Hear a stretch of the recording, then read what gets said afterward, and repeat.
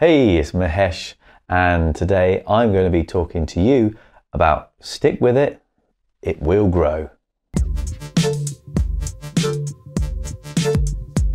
Today we're going to talk about growing the beard long.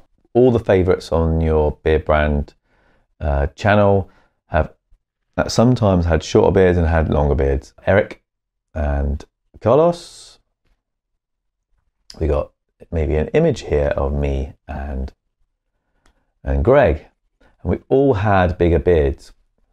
And quite a lot of people message me and they message Eric and they message Carlos and they message uh, Greg and they say the same things. We all uh, have discussed this together and they all ask, you know, how do I grow that bigger beard? For me, it's three words stick with it.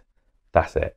Stick with it stay with the focus that you have about the length that you want and where you want to look and how you want to be with it. It's really important to remember that it's all about the maintenance, it's all about the care, it's all about looking to be mindful of the fact that each single hair that you have in that beard is growing simultaneously at the same time as each other, but in its own way. So your beard does not grow out all at the same time.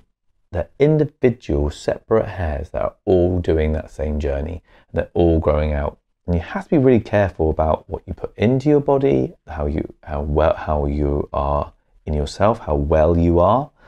If you are well, then you will find that your growth is good if you're um, unwell and you're poorly, what you'll find is the nutrients that go to making strong, good, nourishing hair will go elsewhere to the body. Simple as. Your hair, as far as your body is concerned, isn't the number one priority. Okay? Everything else in your body, all the internals, all your organs, your skin, your eyes, everything else is more important than hair. So if you are well in yourself, if you're eating the right food, if you're not drinking so much, if you're not smoking, all these things will be a massive factor to um, you getting uh, the best advantage on growing your beard out. And like I said, this is the key is to stick with it because it is frustrating. You will find that um, you'll get episodes of time, maybe three weeks at a time, when you'll think there has been no growth at all to your beard. Maybe a fraction on your moustache. So there's a couple of things that you can do just to help yourself along psychologically in the sense that you can keep an eye on what's happening. So, first of all, what I suggest is you choose one day a week, um, let's say Sunday. So, Sunday is the day that you do it, and that is your selfie day. Now, you may very well take more than one selfie a day, or you may take five or six a day, but use particularly one day a week just to focus on what the beard looks like. So, what you do is you set your camera up, I don't know, in your bathroom in the lounge, in the kitchen, wherever it is, in the same place every time. You set your camera up, put it on timer, and have the same posture each time. And I will repeat that every week.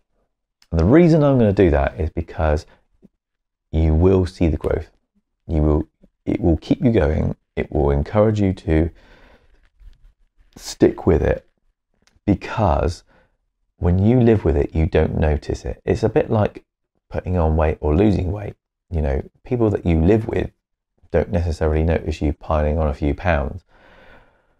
But someone you maybe haven't seen for three months might think, oh, put a, pound, put a few pounds on. Or the other way around, you know, if you've lost six or seven pounds and someone you haven't seen for a, a month or two would say to you, wow, guy, you know, wow, you're looking great. But the person you maybe live with and yourself, you don't notice a change so dramatically unless you're, you know, taking a photograph. And people who do work out in the gym or people who are losing weight or people who are toning up. Uh, they'll do that. You know, you you know they'll take photographs of their body and they'll do the comparison. You know, week on, month on. So I would say do weekly because it's rather than waiting every month. That's quite a long time period in between growing it out. So do that. And then the other thing is to build up a good rapport with your barber and let your barber know what your plan is for your beard. So, you know, bring in a picture, you know, have a picture like this picture here that, that I've that we've got here. So you've got a picture of a person with a long beard, and this person is your goal, and you can show that to your barber and keep that in your phone. And each time you go into the barbershop, say, This is the goal. Remember, we're only doing maintenance, we're not cutting really too much length off.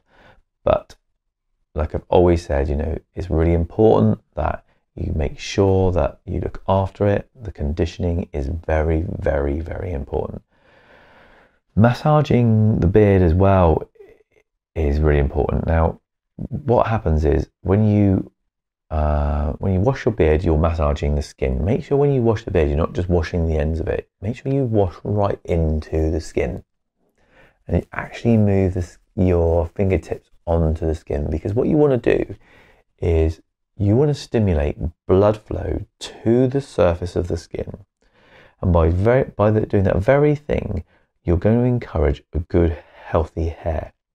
Now, what happens is is the hair bulb that the hair grows from just sits underneath the skin surface.